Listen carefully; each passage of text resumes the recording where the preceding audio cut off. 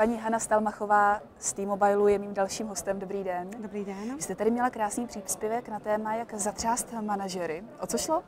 Tak jednalo se o náš eh, rozvojový program pro seniorní management a zatřást je silné slovo, ale chtěli jsme v podstatě přinést trošku změnu jednak do oblasti rozvoje manažerů, ale i do firmy jako takové, právě přes rozvoj. Vy jste mladě působící firma, nebo respektive když máme T-Mobile, vidíme, představíme si většinou mladé lidi. Jak u vás často manažeři třeba jsou ve svých pozicích? Jak dlouho?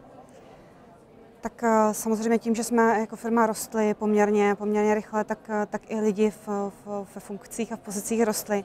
Takže dost často tam máme uh, manažery, kteří jakoby, um, se posunuli v rámci kariérního rozvoje na ty své pozice. Jsme mladá firma a ten průměr na manažerské pozici bude něco kolem sedmi let.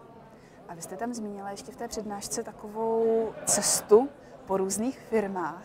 Jestli byste tento bod mohla tady přiblížit mm-hmm. našim mhm. divákům. A no, my jsme v podstatě na, na začátku toho programu si říkali, že bychom se chtěli vyhnout těm klasickým tréninkům, na kterých už všichni byli a všichni už, už všechno absolvovali a většinou i ta zpětná vazba je, to už jsem viděl, to už jsem, to už jsem uh, zažil. Uh, takže to byla ta prvodní uh, idea uh, udělat něco inovativního. A tak jak už říkal Steve Jobs, nejlepší inspirace přichází úplně z jiných odvětví a z jiných, uh, z jiných oblastí.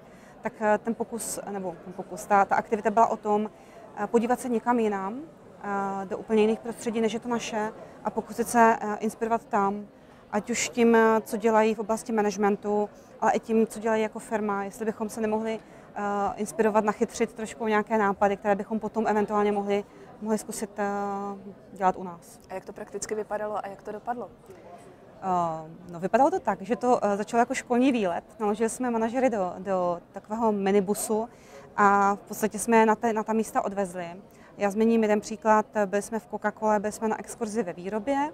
Naši manažeři měli neuvěřitelné množství otázek, ale uh, myslím si, že to, jako, že to jako bylo velmi zajímavé uh, podívat se do výrobního podniku, když my nejsme ta výroba, a podívat se na ty problémy nebo na, na ty věci, které řeší tam. Uh, no a pak jsme měli, pak jsme měli speakera, který, uh, který v podstatě měl přehled přes společnost a mluvili jsme o změnách, uh, o kultuře, o změně kultury a, a těchto těch věcech.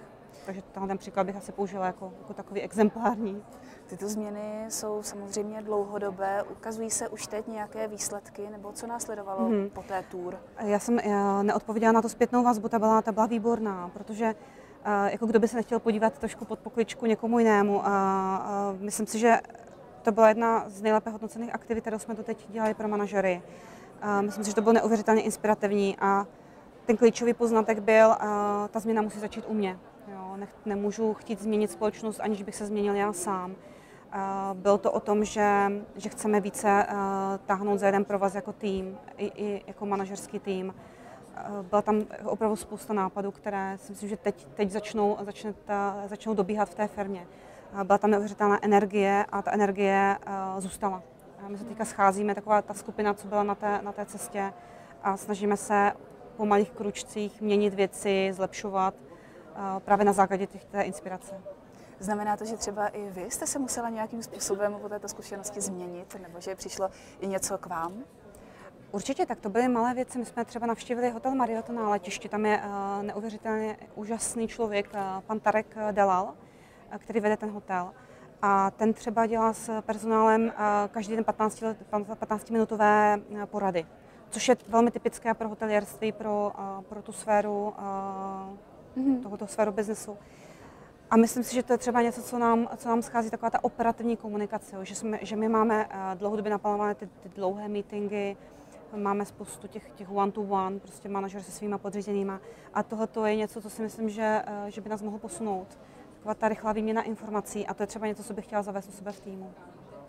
Vy jste tam připodobnila vůbec uh práci s managementem, třeba i k práci Jamieho Olivera, mm-hmm. kuchaře.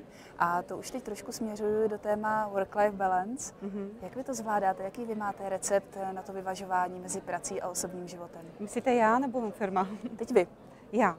No, já mám dvě babičky, které hledají děti a tím je to všechno dané. V podstatě, eh, v podstatě kdybych neměla to zázemí doma, jaké mám, tak si nemohla dovolit pracovat. Eh, mám dvě malé děti, tři a pět let, takže bych si nemohla dovolit pracovat asi na plný úvazek, ale tím, že, že babičky fungují eh, velmi dobře, tak tak v podstatě můj work-life balance je velmi dobrý. A byla jste třeba někdy v situaci, kdy jste opravdu musela plánovat nebo říct, eh, tady to se musí změnit, protože tohle mi nevyhovuje právě v této oblasti? Uh, určitě, no tak ono, ono, když člověk sedí uh, za den na osmi mítinzích uh, a tu práci potom musí dělat doma, jakože to, to tak je, tak, tak samozřejmě jako dřív nebo později je někdo nespokojený. Takže, takže určitě jsem se snažila omezit i, i třeba počet mítingů a myslím, že tím trpí jako většina větších firm právě tímhle tím, tou meetingovou kulturou. Takže to byla třeba jedna ze změn. Jo. Zavedla jsem to, že vlastně mám pořád otevřené dveře, což má i svoje nevýhody, protože tam pořád v té mojí kanceláři někdo je. Ale eh, to zrovna funguje velmi dobře eh, právě na místo těch pravidelných schůzek, mm-hmm. kterých bych měla potom jako 10 do týdne. Takže malá věc. A poslední otázka na závěr. Kdy jste od někoho dostala dobrou radu? Nebo jestli jste vůbec někdy dostala radu, kterou jste se pak mohla řídit a pomohla vám v životě?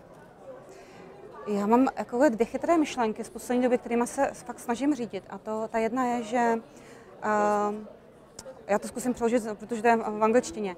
A v podstatě to, co vás dostal sem, vás nemusí dostat tam. Mm-hmm. Jo, to znamená, že ty, ty klíčové věci, které vám fungovaly v jednom zaměstnání, v jednom projektu, nemusí fungovat v, v dalším. To je jedno moudro. A pak druhé moudro, kterým se taky snažím řídit, že pokud máte pocit, že jste nejchytřejší člověk v místnosti, tak jste ve špatné místnosti. Výborně, děkuji moc, že jste byla právě v tuto chvíli v této místnosti. Já taky moc děkuji za pozvání. Naschledanou.